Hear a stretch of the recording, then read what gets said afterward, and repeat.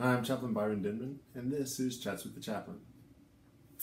I don't know how many of you know this, but I grew up in the time before CDs.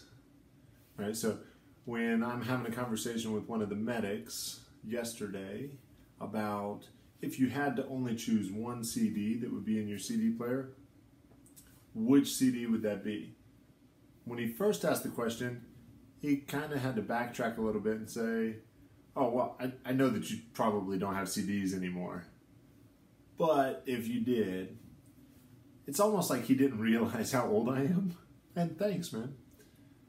But CDs, they came and went during my lifetime. And so I look at something like this CD player, and there's a little bit of nostalgia there. There's a little bit of what it was like when we first got that, that big CD player in our house. And my dad had the huge speaker set up and he ran cables out to the backyard so when we had a barbecue or whatever, everybody could could enjoy the music out there. And how cool everyone thought it was that we had a six disc changer. And now, you know, I mean, we're on different kinds of streaming apps and, and everybody's music is randomly sorted by some place in the clouds. But for me, that idea of choosing one CD to play really had to happen. Especially when I had one particular car and the CD player, for some strange reason, was in the trunk. I don't know why they would set it up that way, but that's the way the previous owners did it. So I had to go back and put a CD in, and if I were driving for too long, then I would just have to listen to that same CD.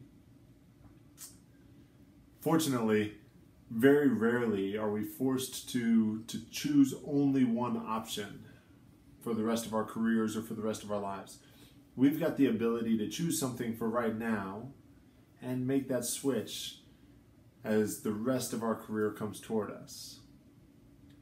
I'm not saying that this has to be an MOS change or anything like that, but there might be a season in your life where you think that trying to go special forces is the way to go, or trying to go recruiter or drill sergeant is the best way for you to progress your career. And it's possible that some of those options might carry a little bit more favor than others. But if we honestly assess the Army, we can see NCOs and officers at all levels who have and have not done some of those things. I don't have to have a Ranger tab to be successful in ministering to soldiers. I do if I want to go serve in Ranger Battalion. And so I have to weigh my options with how things look for my future. Where do I see myself? Where do I want to be? I have to make those plans. And then I have to choose which option is the best fit for where I am right now. I'm not asking you guys to pick one CD, put it in that CD player in your trunk, and just roll with it for years, some of that music would get a little bit old. But I am saying, when you have the choice, make the choice that meets your need, but remain flexible enough to say that if something changes down the road, you can pursue a different route. I'm Chaplain Byron Denman, and I've listened to a few too many CDs in my lifetime.